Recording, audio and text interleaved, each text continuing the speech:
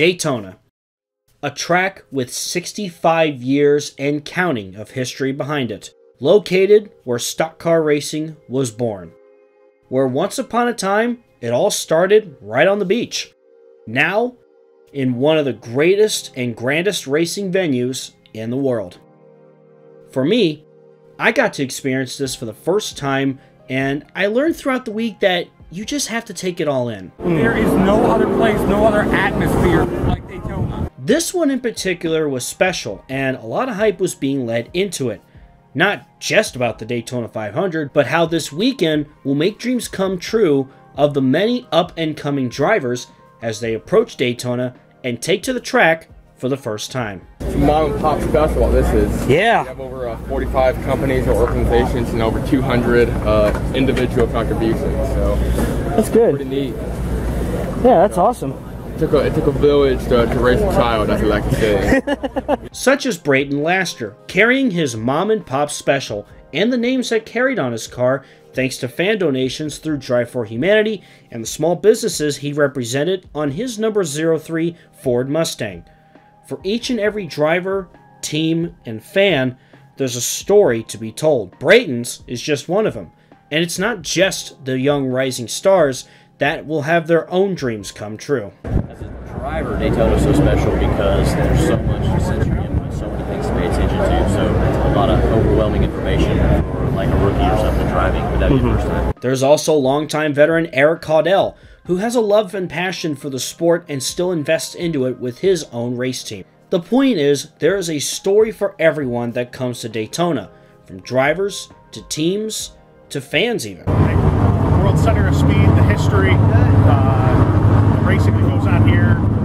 It's unlike any place else. The drafting, uh, the action never stops throughout the field. Us all racing all over Daytona, Volusia, New Smyrna. It's a great place for a fan. I mean, without quite without question, you know, long, long, long history. I mean, they've uh, they've been racing on the beach since the 1950s. Uh, you know, there's just there's just so much so so much special about this uh, about this place. I mean, this is going to be the 65th Daytona 500 this year.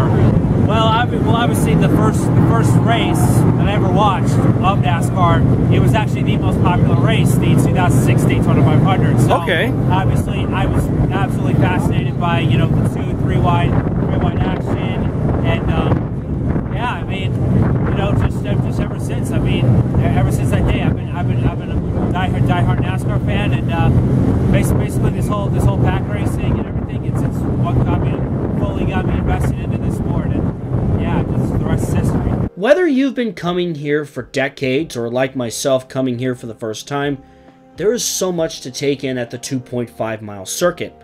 There's a major reason that people from all over the world come to an event such as the Daytona 500. Probably because there's nowhere else quite like it in the world. I mean, anywhere in the world, not just the US. That you've got such a big, it's a big track. It's the style of racing is so different, and then you've got the, the fans and people who come out here. It's what really makes this into. It's more than an event. It's more than a race. It's an event. yeah, what he said, obviously, he put it very well. Uh, also, it's great ourselves coming from European NASCAR to have the, the bond strengthened here and uh, yeah, to see this, this huge event, all the, all the fans. Uh, it's all on a bigger scale and yeah, it's just great to soak in the atmosphere. And I really do mean all over the world. I met Gordon Barnes and Chris Liemann from the NASCAR Euro Series team Marko Stipp Motorsports, who were there to watch one of their teammates take to Daytona for the first time, a driver from Portugal named Miguel Gomes. For drivers' dreams coming true, one example came out of Greg Van Alst, a Midwest short track racer who ran in ARCA just a few times in the early 2000s and then went to other forms of racing over the next 20 years. He then came back to ARCA in 2021 and now has a win at Daytona to his name. This is just one of the many examples of dreams that come true at Daytona. Now, just as much as drivers' dreams come true this weekend, so do the fans. Whether it's your first race ever or their first time at Daytona, despite being in other tracks. You know, I just think the history here, uh, is a place that, that just seeping with tradition, um, it's dripping with it, and you come down here and you know that it's going to be something else that we have never seen before. Like whether it's somebody winning for another time or somebody winning for the first time, the way they win it. Like you know, even walking in the garage this morning, talking to NASCAR people, they can. They were talking. We could set up the biggest event. We can set up everything to go. We have no idea what's going to happen.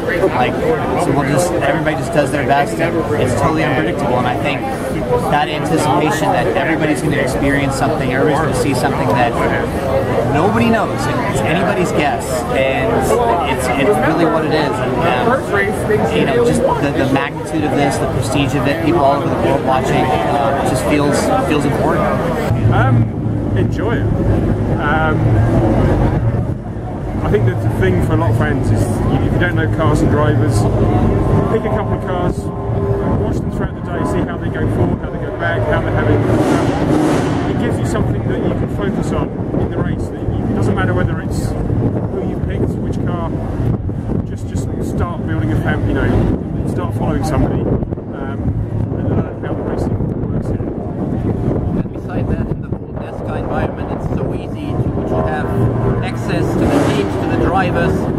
You can be very attached, and uh, they're also doing a lot of things online on social media, so you can basically follow every footstep. And yeah, it's just a great experience, and it's, it's worth uh, experiencing yourself. You have to at least check out practice at some point. And the reason why I'm saying that is during practice, it doesn't matter where you sit.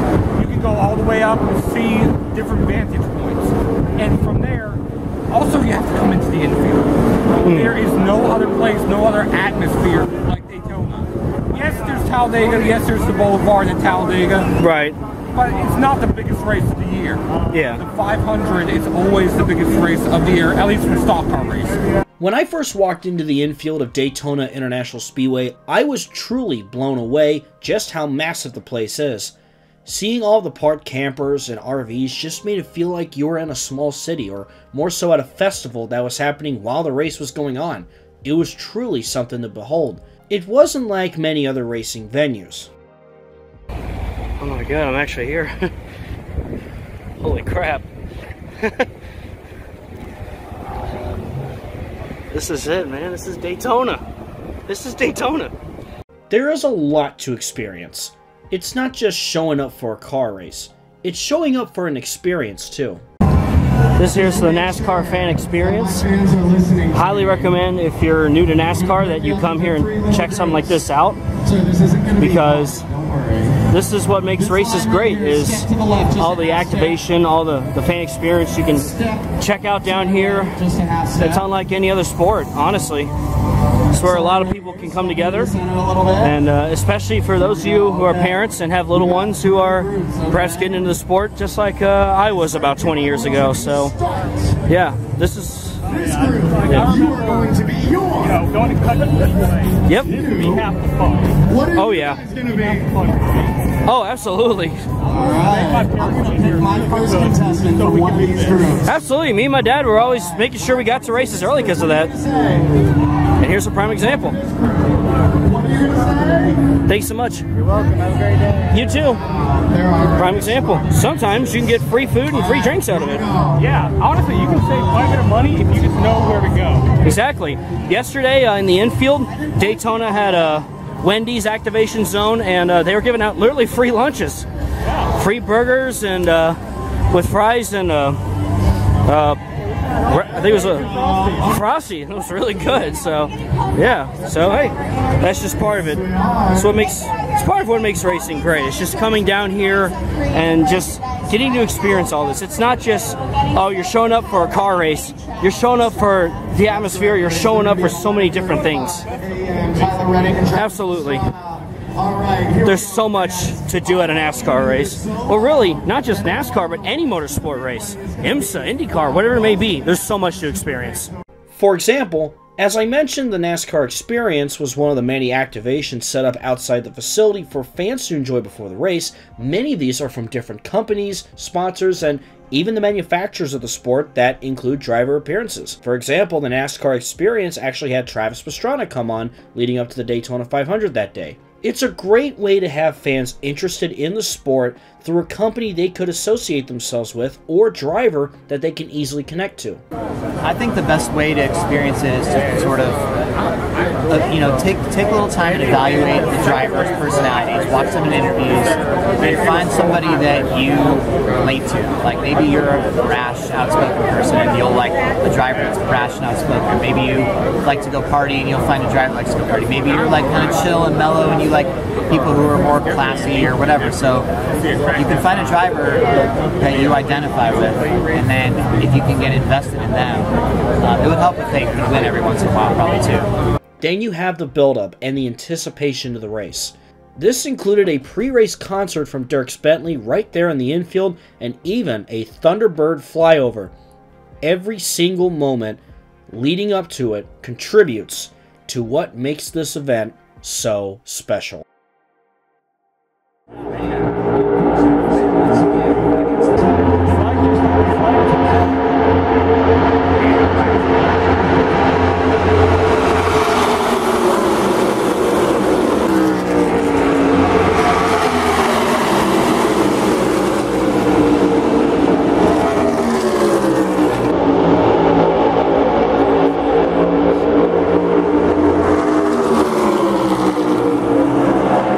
Then there's the big race as 40 drivers strap into their cars and begin a 200 lap, 500 mile journey. All as 100,000 plus fans watch on, as well as the millions watching around the world. The laps tick away as the lead changes, and one driver could make a single move that could make or break their day.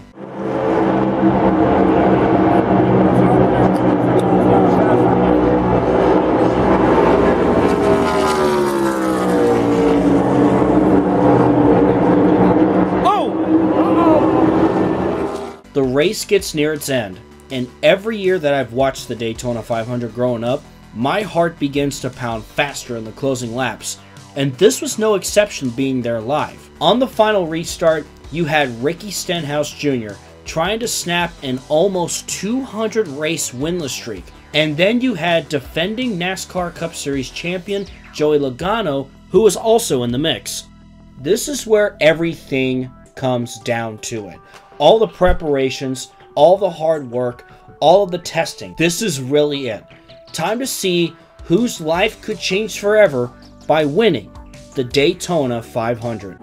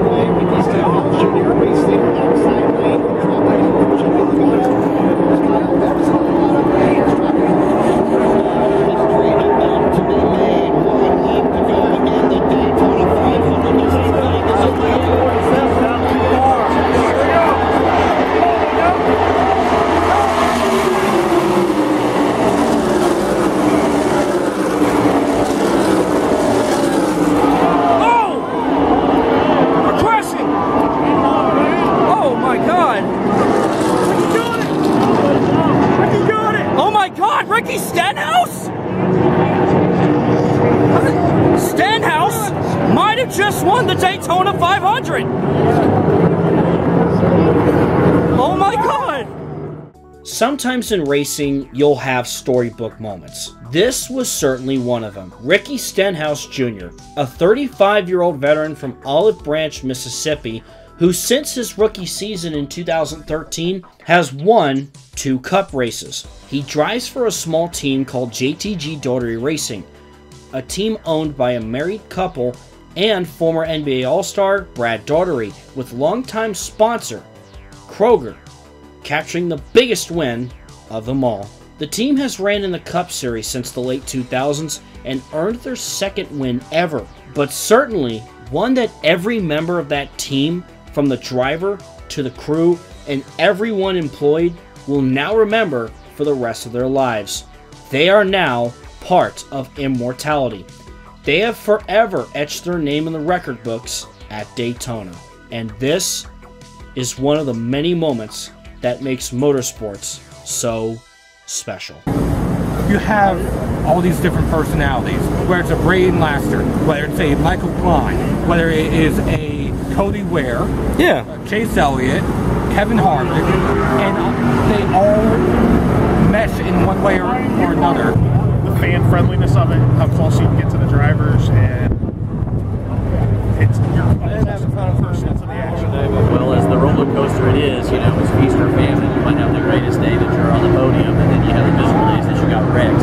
But uh, it's definitely got the wide range of emotions and everything going on, and all the characters, and, and uh, you know, all the tracks are different, but everybody's racing on the same one, so it's a good competition. Words because there's such a big variety of motorsports that we Yeah. don't just have NASCAR and stock car racing. It's not just Formula One. You've got rallycross, you've got you know rally. Um, it's that variety, and I think for most people that there will be something in the world of motorsports that will attract your attention. Uh, for me, I think it's it's really the machinery that you run in either series. Uh, it's always it's always great. It's always very special, and the way uh, as a driver you have to handle that machinery, that you have to adapt and, and do your very best to go on the limit. I mean, once you've ever been in a race car yourself, you know how uh, how hard it is and uh, what it takes to to be fast. And that for me is kind of the, the beauty of racing. Well, I think that's also the other thing that makes motor racing, motorsports different from other sports. It's not just a, a personal physical endeavour. There's a team and there's the engineering aspect. So it's not hmm. just making yourself better, you've got to make the car faster. And that's understanding how it's set up, how springs work, shocks work, and so on. Motorsports is just, you know, people are pushing themselves to the limit and their machines to the limit. And sometimes, you know, you go over the line, the line, something bad happens. And, and that's the danger of it. But they all know that it's dangerous and they're all pushing as hard as they can. They're putting their lives on the line and they still do it. Um, they're still trying to compete as hard as they can. Um, so it's that balance between, you know, bravery, skill, talent, um, taking a chance, and backing down and controlling yourself. Um, and only few, everybody thinks they can do it, but only a few actually can. And to be able to see those people display their skills, I think that's pretty, pretty magical. You know, there's basically legends from all from, from you know from, from all decades of the of the sport that are that are here this week this weekend with us. So you know everybody everybody's treating each other like family, which uh, which I'm which I'm very pleased about. So, but other than that, I mean, uh, yeah, I've never this is this is my first time at Daytona, and this is just uh, just an unbelievable experience so far. This was certainly one of the greatest experiences that I've ever had. Uh, honestly, just even a couple days after coming back from Florida, I'm still trying to process everything that I got to experience. It was a massive whirlwind of activities. I couldn't be any more thankful. And this really, this trip, this trip to the Daytona 500 really has influenced me and really helped me out to why I love motorsports and I love everything about motorsports. I love the speed, the action, everything that goes into it for someone to succeed. There's so much that goes into it, and it, it's inspiring me to show this kind of content. That's why I was big on Speed Reign Supreme, and this is part of it. This, I hope, will help show to anyone really. Even if they're a new racing fan or they want to get into it, I hope this video will help somebody and just showcase to them, wow, this is amazing. And this is just one race out of all sorts of races that are ran throughout the world. But I will say, with the Daytona 500, there's not many other races quite like the Daytona 500.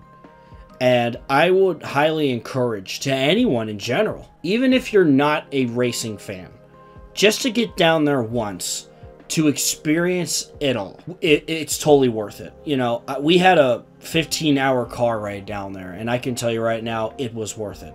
Everything was worth it, and it just once again reminded me how much I love racing. And I hope for those who went, it felt the same way for them too. This was my experience and the experience for many other people, in this video. Thank you guys so much for watching, and I will see you all in the next video.